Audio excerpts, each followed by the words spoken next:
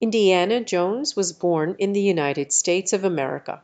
Specifically, his birthplace is identified as Princeton, New Jersey.